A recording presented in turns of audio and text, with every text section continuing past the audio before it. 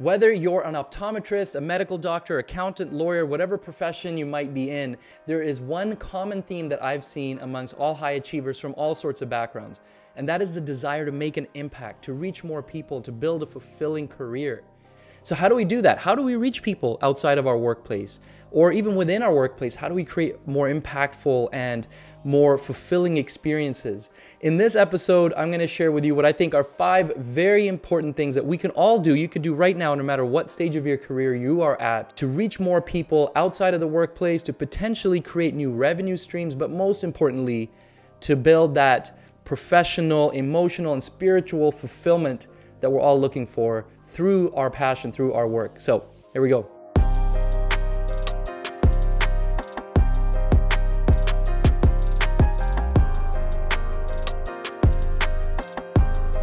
How's it going, guys? Welcome back to another episode of the 2020 podcast, bringing clarity to business, entrepreneurship, and life. I am your host, Dr. Harbir Sian. Thank you again for taking the time to join me here to learn and to grow. As always, please do not forget to hit subscribe, hit like, leave a comment, whether you're listening on Apple Podcasts, on Spotify, or watching on YouTube. Again, appreciate all your support and all your feedback. Thank you guys. You can also find me on Instagram if you didn't know that already, at harbirsian.od. Feel free to shoot me a DM. I'm always looking for suggestions. If there's any topics that you'd like me to cover, anything that you'd like me to go a little more in depth on, I'd love to love to hear those suggestions. And today might be one of those because this conversation, I want to kind of go high level. I really want to share some thoughts and get the juices flowing and hopefully kind of brainstorm with you guys. And you might want me to, you may have some questions about kind of more step by step things in between. I'd be happy to share those privately, or maybe we can do it on another podcast. But again, any suggestions you have, please feel free to reach out. So, again, today, this conversation is about five things that I think we can all do right now, no matter what stage of our career we are at, to help us create more of an impact, to help us reach more people, and most importantly, to help us build fulfillment within our career. Because I think one of the issues we see, we've seen across the board, doesn't matter what profession you're in, is people get into a bit of a rut. They kind of get into the monotony and they get bored, or they find that their profession maybe doesn't align with their their values. And it's not really the profession, I think. I think it's the fact that we don't realize that we can do a lot with that profession or within the boundaries, so so to speak, of that profession to make it more fulfilling for us. And I want to share five things that I've done within optometry, but I think could be applied to any profession um, to help you make it more fulfilling for yourself. Okay, let's jump right in. Number one is to get creative, express your creative side. And if you can, which I think you can, blend that creativity in with your profession.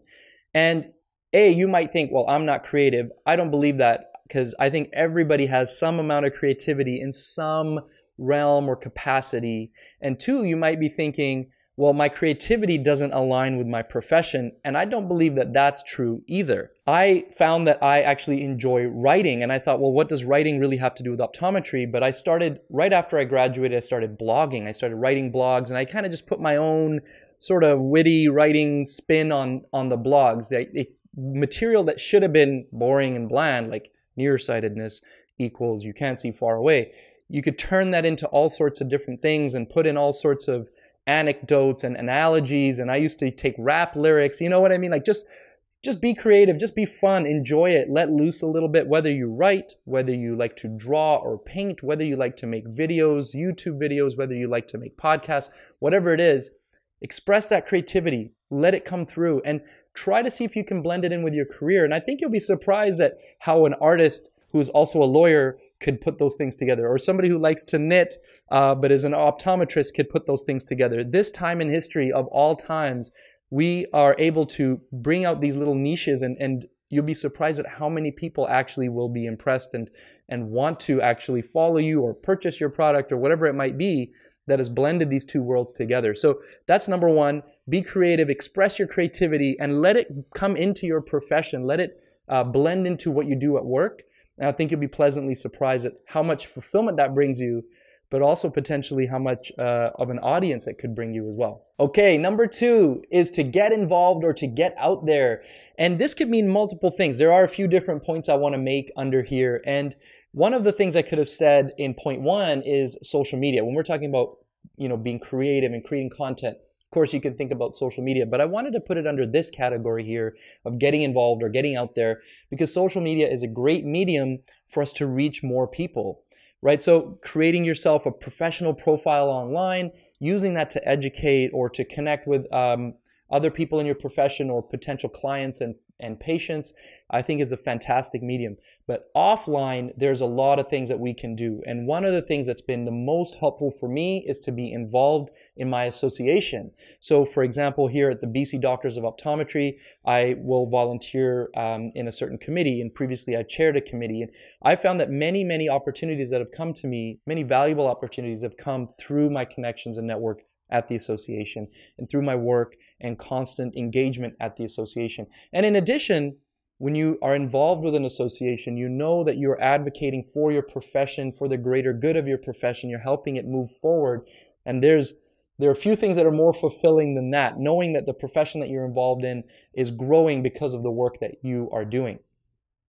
The next thing that you could do is to get involved with industry. So to use optometry again as an example, you know, getting involved, speaking with your reps, your dry eye reps, your contact lens reps, looking for opportunities to engage with them, maybe perhaps speaking on their behalf if it's a product you really believe in, um, or looking for lecturing opportunities through those connections within the industry so you could educate. Educating is one of the things that I find most fulfilling, most satisfying. Knowing that you can impart knowledge and help somebody else grow and flourish is incredible. It's so fulfilling. So if you can find those opportunities, by connecting with people through your association or uh, connections through your industry. I think you'll find that is a really, really great way to reach more people, to grow your network, and to find more fulfillment in your profession. Okay, so number three is to push your boundaries and push your profession's boundaries. This is the good stuff, right, guys? This is the juicy stuff here.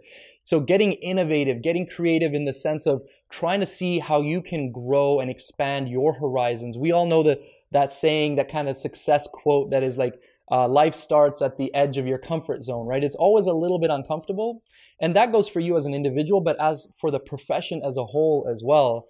You know, I would say for the individual, you know, doing things like making cold calls, emailing people. If you have an idea, jump on it right away. Don't let it sit. Don't dwell on it. Just do the first little thing you can do to to push yourself uh, out of that comf- comfort space to get a ball get the ball rolling and that might be you want to start a new company maybe you want to implement something new in your practice.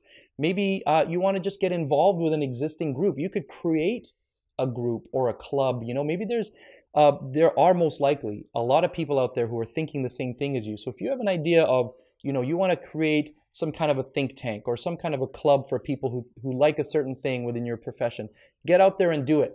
You'll never know until you do it and I want to give you an example, a personal example of mine for what pushing my boundaries and potentially, you know, a little bit on pushing my profession's boundaries a little bit uh, felt like. So we all know, anybody in the eye care space knows, it was probably about a decade ago that really like the e-commerce uh, industry really started to take over in eye care, really started to disrupt eye care. You know, companies like here in BC, clearly uh, contacts and in general uh, in the US, Warby Parker being a huge company that was uh, starting up around that same time. And the general the general feeling was in our in our industry was fear and denial. People were like, "Forget that. We're not even going to acknowledge them. We hate online. We hate e-commerce. They're doing it all the wrong way." And we just tried to ignore it. And I was one of those people too. But over the years, we saw that little those little companies started to turn into giant companies, and what started off as a little wave turned into a, a tsunami that was just basically taking over the industry. And I personally felt like, well, look, if, if it's happening, then why don't we try and do it our, ourselves? Why don't optometrists try and, do it the way that we would like to do it, see, see it do, done right? So I created my own company. You might know this story. I created Oxford and Kin, started about five years ago on that concept that I had to start this eyewear brand that would stay true to my my ideals as an optometrist, as somebody who likes to give back and wants other people to to receive benefits from this company. And I started this company, and and to be honest, a lot of uh, my colleagues were skeptical at best. You know, I had people commenting on posts about like, well, I guess if you can't beat them, you're going to join them, as if like I'm giving up on my profession.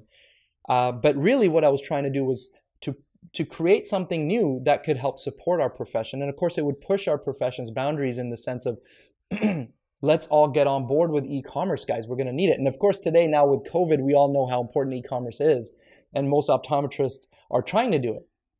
But at the time, I knew nothing about digital marketing. I knew nothing about e commerce and barely anything about social media, to be honest. So I had to push my own boundaries to learn all of those aspects to try to create this brand and market and grow this brand. So you may not want to try and do something to that degree, but you might have some smaller goals that you want to do, some smaller boundaries that you want to push. And I highly encourage that you do it because when you get over those little humps, when you get through those boundaries and you expand your horizons, again, that's super fulfilling and it's really encouraging for you to continue to grow and to do more. And ultimately, it may help you grow your profession even more. All right, we made it to number four, but before we go into number four, I want to quickly review one, two, and three. Number one was to be creative. Tap into your creative side. If there are any little creative things that you like to do, little hobbies that you have, see if you can blend those in with your profession. Make that that little connection there. I think you'll find that little niche that you have is actually really enjoyable for you, and you'll even find other people out there in the world who actually enjoy that as well. Number two is to get involved or to get out there. So get involved with your association, put yourself out there on social media, create a community, and create opportunities for yourself uh, within your industry. And number three, what I thought was kind of that big juicy one, guys, was that push your boundaries and push your profession's boundaries. Think think outside the box. Do things that may be a little bit different that maybe make you a little uncomfortable, perhaps even make people in your profession a little uncomfortable, but ultimately doing something that will, creating something that will help you and your profession grow. And number four is to specialize. Create some kind of specialty or niche within your practice. Now, those other three things were helping you reach outside the four walls, right? Outside of the four walls of your business, reach new people. But to really be fulfilled in your line of work, you also want to make sure what you do within your four walls is fulfilling to you. And I found that when you start to specialize a little bit, when you start to add little specialties in the, into the way that you practice that differentiate you from other people in your field, it's really fulfilling for you when you are able to help patients in a different way that you haven't been able to before. Or maybe that patient has not been able to receive that kind of care anywhere else before because you are the one who's specializing in it. So you know, taking optometry as an example, of course, whether you're specializing in dry eye or myopia control or contact lenses, whatever the case is, take some time to specialize a little bit into one of these realms. Maybe you can dabble a little bit, you know, try a little bit of each one of these things and see which one really resonates with you, maybe which one works well with your existing patient base so you can implement it right away. But I think that's again applicable across the board. You know, law, of course, has different types of practice, accounting and um, medicine, all these different professions have all sorts of uh, specialties within their fields uh, that I think it's really beneficial to, to narrow down a little bit so you can feel like you're really helping and really making a difference. And of course, that forces you to learn, uh, you know, to continue to learn rather than just doing the general practice. When you are niche becoming or, or, working yourself into a bit of a niche or specialty you have to educate yourself to become a specialist to become an expert you have to learn and learning is always a really great way to keep your mind going to stay fulfilled to stay energized and to to feel like you're really in, ingrained in your profession that you're not just doing the mundane nine to five monotonous stuff you're always trying to find something new that nice little pearl that can help you do more for your patients and your clients so number four is to specialize all right, guys, we made it to point number five. But before we go into that, let's quickly review the first four points. Number one was to get creative. Number two was to get involved or to get out there. Number three was to push your boundaries, push your profession's boundaries. And number four was to specialize. Number five, which I think really is the most important one of these points when we're talking about making an impact and feeling fulfilled. Number five is the most important, and that is to give back giving back in as many different ways as you can. There's different ways to do it. I'll quickly share a couple ideas that I have. But giving back is going to be the one thing that you do that is going to make you feel the most fulfilled, the most satisfied, let you rest easy and sleep well at night. And there's one quote or one speech that I've listened to probably a thousand times over, and it's Arnold Schwarzenegger's, I think it's a commencement speech years ago, is six rules to success. And the sixth one was to give back. And he said, no matter whether it's at a local or a provincial or a federal level, giving back is what's going to give you that, that feeling of success and enrichment and fulfillment. Now, I've said the word success twice just in the last minute, and I haven't said it at all before that during this podcast. And I've been very intentional there because I think this is not about being successful. Everybody's got their own definition of success. This is about feeling fulfilled and re- enriched and satisfied with what you do on a daily basis. And giving back could mean volunteering. So, for example, uh, with organizations like OneSight, or here locally, we have an organization called the Eyeglasses Project. Um, it could mean educating free resources for education, whether you're creating content online or doing you know webinars or other things like that. Education is a form of giving back, right? And in other ways, getting involved with your association, of course, is a way of giving back to your profession.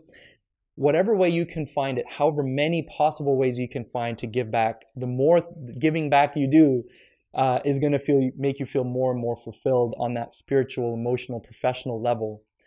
So if you have any ideas of how to give back, make sure you share it with others. Or if you're looking for ideas of how to give back, shoot me a DM. I'm on Instagram at harbirsian.od. I hope you found these five points helpful. I hope they got the juices flowing for you. Hope they gave you some ideas of how you could feel more fulfilled in your profession. Before you start to give up on your profession or start to feel like you're bored, start to think about ways that you can uh, find to feel more fulfilled within your profession. I hope this helped a little bit. And if it did, shoot me a message, take a screenshot, post it up on your Instagram, uh, on your stories. You know, tell me what you found, which one of these points you found to be most helpful to you, um, and share some of your ideas with me about how you can enrich your career and feel more fulfilled. Thank you again for joining me, guys. I'll be back on another episode real soon. Take care.